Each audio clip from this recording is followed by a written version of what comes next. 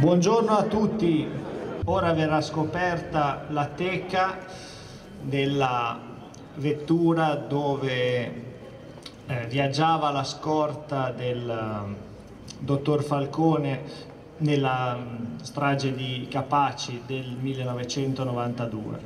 Eh, diamo il via alla cerimonia.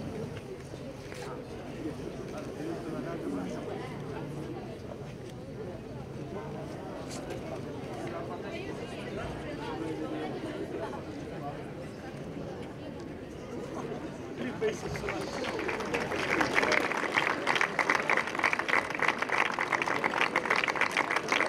Oggi è giunta a Sarzana la quarto Savona 15, la macchina della scorta di Giovanni Falcone che il 23 maggio 1992 è letteralmente saltata in aria, è stata sbalzata a 300 metri di distanza, saltata in aria su 500 kg di tritolo.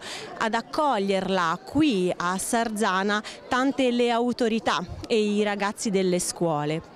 Sono passati 25 anni dalla strage di Capaci, il percorso è ancora lungo ma tanto è stato fatto, in particolare per la lotta al contrasto alla mafia e per la legalità.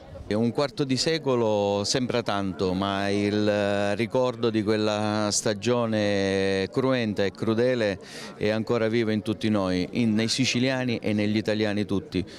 Eh, molte cose sono state fatte ma ancora molto altro deve essere fatto perché sicuramente la vittoria definitiva eh, nel contrasto ad ogni forma di aggressione criminale è, è ancora lontana, è ancora irta di ostacoli. E quindi Bellissima questa iniziativa non solo per ricordare ma anche per spronare tutti noi cittadini e istituzioni che questo cammino è ancora lungo e l'impegno deve essere costante e continuo. Gli uomini della scorta di Giovanni Falcone erano composti dal caposcorta Antonio Montinaro e due agenti Vito Schifani e Rocco Di Ciglio, uomini e donne della Polizia di Stato che hanno messo di fronte alla loro vita, hanno letteralmente sacrificato la loro vita per la lotta e il contrasto a tutte le mafie e per la legalità. Sì, un esempio per noi, un esempio che nel corso degli anni è servito tantissimo eh, anche perché dopo di loro purtroppo abbiamo avuto altri caduti. Eh, uomini e donne che hanno sacrificato la loro vita per un ideale, per un giuramento che hanno fatto nel momento in cui sono eh, entrati in polizia, cioè quello di difendere lo Stato e di difendere i cittadini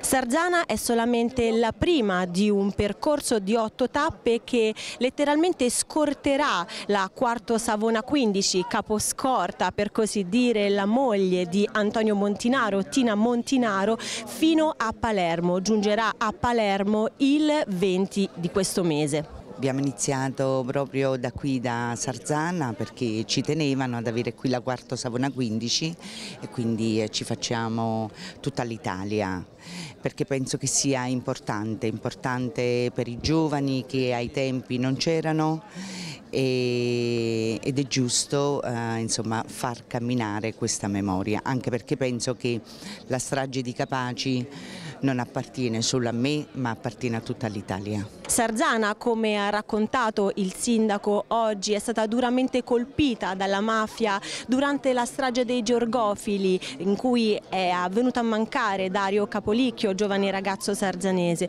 e quindi compito anche delle istituzioni locali quello di lottare per una cultura della legalità. Creare momenti come questo, cercare di coinvolgere i cittadini ma soprattutto le giovani generazioni che devono sapere purtroppo cosa è successo 25 anni fa ma cosa può accadere ogni giorno, quindi noi dobbiamo trasmettere a loro una, un messaggio di attenzione perché la mafia esiste ancora purtroppo e quindi noi dobbiamo creare tutti quegli anticorpi necessari per debellare questo male. Tanti ragazzi delle scuole presenti, non solo di Sarzana, delle scuole medie, delle scuole superiori, che non hanno potuto conoscere direttamente quanto accaduto quel giorno. Certamente la memoria è importante, è fondamentale, perché attraverso la memoria che si possono creare gli anticorpi per una società che possa vivere o quantomeno contenere il crimine. È importantissimo questo, oggi si celebra veramente tre eroi che hanno deciso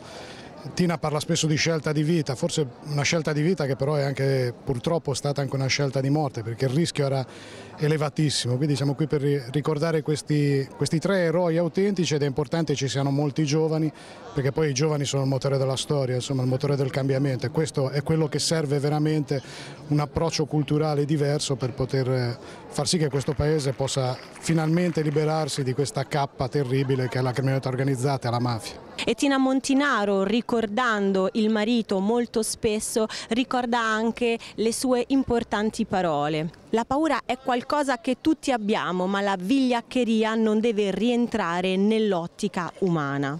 Il marito di Tina Montinaro e gli uomini della scorta di Falcone erano sicuramente degli uomini eccezionali, degli eroi fuori dal comune.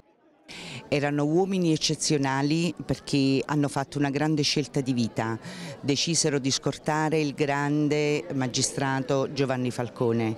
I tempi erano quelli che erano e quindi è chiaro che eh, avevano bisogno di tanto, tanto coraggio. E tra l'altro ricordiamo che comunque erano dei ragazzi erano proprio eh, giovanissimi. Eh, Antonio aveva 29 anni nel 92, Vito Schifani ne aveva 27, Rocco Di Cillo ne aveva 30, quindi erano proprio dei ragazzi.